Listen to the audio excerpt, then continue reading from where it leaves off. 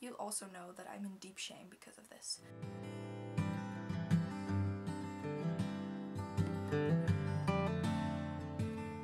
Hello lovely bookworms and welcome to a new video. Today's video I'm going to be sharing with you the books that I want to read in November. I don't know if you can see this but someone's behind here. Now I've moved her to the background so hopefully um, all be well on that part. Before I get into the books, I wanted to make a quick announcement and that is that me and a couple of my friends on Bookstagram have decided to host a book club um, and we'll be reading a book every single month. You can also opt out to read a book a certain month. Um, you also have the opportunity to not read with us but then join us the next month. If you want to join this book club, it's very, very easy. I will put a link down below to our Instagram and if you want to join us, it's very easy. Just go down below and press the Instagram link. If you if you to join us is actually very, very easy. So you go down below to the Instagram link and if you follow us there, you will get all the announcements. You will get to give some recommendations for next month's book. You can pick one of the four books that we have selected and actually vote for your favorite and all the discussions and all the posts will be down there. Hi guys, Esmay from the future here. I just realized that while I was editing this video that I never even mentioned to you guys what this book club is called. So it is called the Whimsical Book Club. Uh, you can find the link to the Instagram down below if you want to check it out. Basically just follow us there, you can get all the announcements and read whichever month you want to read and opt out whenever you want to opt out. So no pain, no sweat. Um, so yeah, information is down below and please continue on with the video. So if you would like to join, please go ahead. I am very, very excited about this and one of the books that I will be reading this month is also from uh, this book club and we'll be reading it with all of us. And that book is Ninth House by Leigh Bardugo. I actually just realized that I have two Leigh Bardugo books in my TBR this month, but that's okay.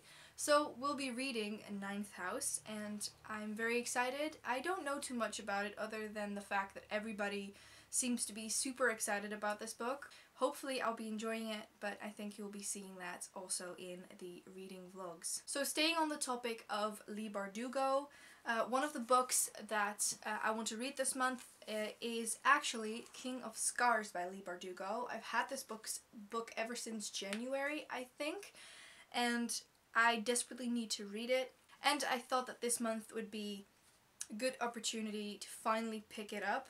I know it is beautiful. I do know a couple of things, uh, so I'm going in with some reservations concerning this book. But nonetheless, I think I really want to get through it before the next one in this duology comes out. Next up, a book that is intimidating, but I will put on the top of my list this month, and that is The Kingdom of Copper by S.A. Chakraborty. You guys know I love The City of Brass. You guys know I haven't read The Kingdom of Copper yet you also know that I'm in deep shame because of this. And I will get to it this month. I will. I will. I, I hope. I will. So, this is on here, once again. I feel so bad for having a lot of great anticipated books and me not having read them ever since they came out. It's just insane and I need to read them. Speaking of anticipated releases, Rage by Cora Carmack. I actually read Roar two years ago and Rage is here, which I need to read, and hopefully Rain, which is the third one, is coming out next year. I'm very excited about this. I might be buddy reading this. I think I mentioned that last month as well, and it's just stunning and I need to get to it. And I know that I will love it. Next up is a book that I've already started and I think I'm about 200 pages in and that is The Poppy War by R.F. Kuang. Yeah, and again, I really enjoyed this book. I really enjoyed what I've read so far. I really want to get to the second one, The Dragon Republic, but I haven't finished it yet. It's it's just such a general thing with me this year because uh, my reading game has not been great. Last year I think I read 100 books, uh, 120 or something, um, and this year it's just not as much because I don't know what it is. It's, well, I know what it is.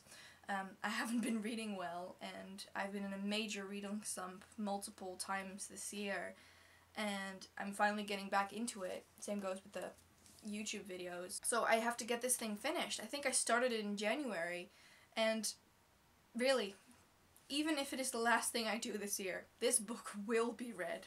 That said, I think I flew right through all of the books. I hope I can enjoy reading again, um, which I have been the past two months, uh, but before that I just didn't feel like reading at all. Um, and I just, it took me a long time to get back into the reading game because of everything that happened um, to me this year. Uh, I do really want to thank you guys for watching and supporting me. Um, and also this little Nina right in the back. I hope you can see her from there. Um, she was actually in my spot a little while ago. Um, I'll show you a quick clip. I actually filmed it. You stand up for one minute just to grab a couple of books and then your cat decides that it is her time in your sitting spot. Yes, I'm trying to film a video and Nina does not agree. That said, I want to thank you guys so much for watching. Please give us a thumbs up, subscribe to our channel and press that little bell icon so you get post notifications every single time that we post. And I will see you guys the next time. Bye!